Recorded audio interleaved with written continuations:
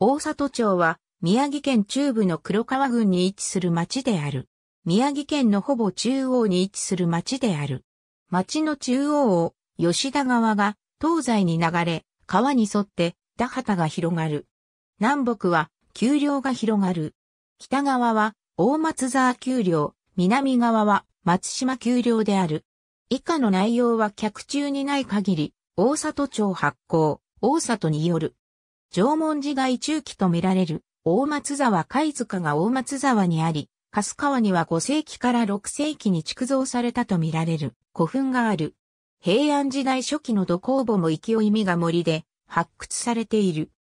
鎌倉時代から室町時代あるいは江戸時代にかけての史跡として、羽生地区にはお菓子が寄った月立城が、大松沢内地区には大久保城址公園があり、大松沢市は明治まで大久保城で暮らした。吉田川や鶴田川に近い水田地帯には、松島町や旧鹿島台町にまで広がる、仙台藩領内で最大の湖である市内沼があったが、江戸時代からの干拓により消滅した。